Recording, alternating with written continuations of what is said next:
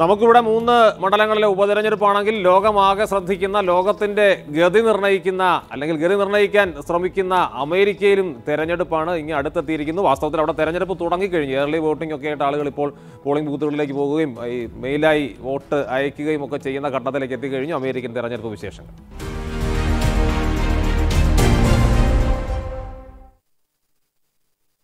ട്രംപും കമലാ ഹാരിസും അവസാനവട്ട തിരക്കിട്ട പ്രചാരണത്തിലാണ്. പ്രത്യേകിച്ച് ഈ ബാറ്റിൽ ഗ്രൗണ്ട് സംസ്ഥാനങ്ങളിൽ ഡോക്ടർ കൃഷ്ണകിഷോർ ചേരുന്നു അമേരിക്കയിൽ നിന്ന്. Krishnakishore good morning. അവസാന ഘട്ടത്തിലേക്ക് എത്തുമ്പോഴേക്ക് ഒപ്പത്തിനൊപ്പം ഈ പോപ്പുലർ വോട്ടിലെ നേരിയ മുൻതൂക്കമൊക്കെ അപ്രസക്തമാകുന്നതാണ് നമ്മൾ പലപ്പോഴും കണ്ടിട്ടുള്ളത്. അതുകൊണ്ട് ഒന്നും പറയാൻ കഴിയാത്ത സിറ്റുവേഷൻ എന്താണ് ഏറ്റവും പുതിയ വിവരങ്ങൾ? അബ്ജോദ് ഗുഡ് മോർണിംഗ് ആദ്യമായി ദീപാവലി ആശംസകൾ. ഈ തെരഞ്ഞെടുപ്പ് ഒരു വാശിയേറിയ തെരഞ്ഞെടുപ്പാണ് ഇതെന്നതിന്റെ തെളിവാണ് ഈ ഏർലി വോട്ടിംഗ് കണക്കുകൾ. നമ്മൾ ഏർലി വോട്ടിംഗ് കണക്കുകൾ പരിശോധിച്ചു കഴിഞ്ഞാൽ അൻപത്തിയഞ്ച് ദശലക്ഷം പേർ ഇതിനകം പോസ്റ്റൽ ബാലറ്റിലൂടെയോ അല്ലെങ്കിൽ നേരിട്ടോ എത്തി വോട്ട് ചെയ്ത് കഴിഞ്ഞിരിക്കുന്നു.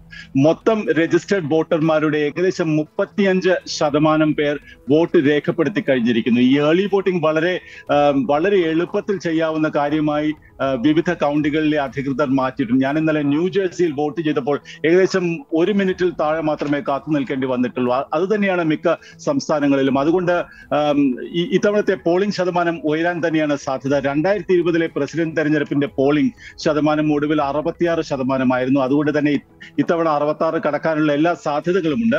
ഈ രണ്ട് സ്ഥാനാർത്ഥികളും ഡൊണാൾഡ് ട്രംപും കമല ഹാരിസും നേരത്തെ സൂചിപ്പിച്ചതുപോലെ തിരക്കിട്ട പ്രചരണത്തിലാണ്. നമുക്കറിയാം അമേരിക്കയിൽ അൻപത് സംസ്ഥാനങ്ങളിൽ നാൽപ്പത്തിമൂന്ന് സംസ്ഥാനങ്ങളിലും ആര് വിജയിക്കും എന്ന് നമുക്കറിയാം. പാർട്ടികൾക്ക് ഭൂരിപക്ഷമുള്ള ആ, സംസ്ഥാനങ്ങളിൽ കാലിഫോർണിയയിൽ ഉദാഹരണത്തിന് ഡെമോക്രാറ്റുകൾ വിജയിക്കും ടെക്സസിൽ റിപ്പബ്ലിക്കൻ പാർട്ടി വിജയിക്കും. പക്ഷേ ഈ ഏഴ് നിർണായക സംസ്ഥാനങ്ങൾ ഇപ്പോഴും തുലാസിൽ തന്നെയാണ്. അതുകൊണ്ട് കമല ഹാരിസും ഡൊണാൾഡ് ട്രംപും അവരുടെ വൈസ് പ്രസിഡന്റ് സ്ഥാനാർത്ഥികളും ഒക്കെ എല്ലാ സമയവും അവിടെയാണ് ചെലവഴിക്കുന്നത്. ഇന്ന് കമല ഹാരിസ് വിസ്കോൺസിനിലും പെൻസിൽവേനിയയിലും നോർത്ത് കരോലൈനയിലും യോഗത്തിൽ പങ്കെടുത്തു. ട്രംപ് നോർത്ത് കരോലൈനയിലും പെൻസിൽവേനിയയിലും എത്തിയിരുന്നു. വരും ദിവസങ്ങളിലും ഈ ഏഴ് സംസ്ഥാനങ്ങൾ കേന്ദ്രീകരിച്ചാണ് എല്ലാ പ്രചരണവും ഈ ഏഴ് സംസ്ഥാനങ്ങളിലെ ഇപ്പോഴത്തെ ഒരു പൊതുചിത്രം പരിശോധിച്ചാൽ നാല് സംസ്ഥാനങ്ങളിൽ ട്രംപിന് നേരിയ ലീഡുണ്ട്. കമല ഹാരിസിന് മൂന്ന് സംസ്ഥാനങ്ങളിലാണ് ലീഡ്. പക്ഷേ ഈ ലീഡൊക്കെ എപ്പോഴും മാറി പറയാം. ഒരു ശതമാനം രണ്ട് ശതമാനത്തിന്റെ ലീഡാണ്. പിന്നെ അഭിപ്രായ സർവേകളെ പൂർണമായും മുഖവിലേക്ക് എടുക്കാനും കഴിയില്ല.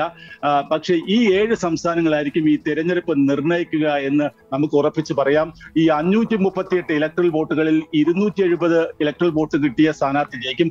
തൊണ്ണൂറ്റിയേഴ് ഇലക്ട്രൽ വോട്ടുകൾ ഈ ഏഴ് സംസ്ഥാനങ്ങളിലുണ്ട്.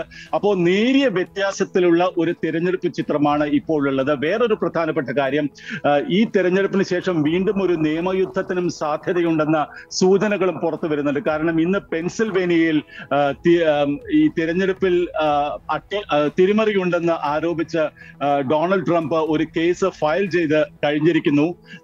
അധികൃതർ തിരിമറിയൊന്നുമില്ല എന്ന് നിഷേധിച്ചിട്ടുണ്ട്. പക്ഷേ ഇത് ഒരു വരും ദിവസങ്ങളുടെ സൂചന ആയി നമുക്ക് കണക്കാക്കാം. പക്ഷെ ഒരു പൊതുചിത്രം ഇപ്പോഴും അമേരിക്കൻ തെരഞ്ഞെടുപ്പ് പ്രവചനാതീതം എന്ന് തന്നെയാണ്. അർജുൻ ശരി കൃഷ്ണകിഷോറാണ് വിവരങ്ങൾ നൽകിയത്. കൃഷ്ണകിഷോർ ഇതിനോടകം തന്നെ അമേരിക്കൻ പ്രസിഡന്റ് തെരഞ്ഞെടുപ്പിൽ വോട്ട് രേഖപ്പെടുത്തി കഴിഞ്ഞു. ന്യൂജേഴ്സിയിൽ അങ്ങനെ ആളുകൾ വോട്ട് രേഖപ്പെടുത്തിക്കൊണ്ടിരിക്കുന്ന സമയമാണ്.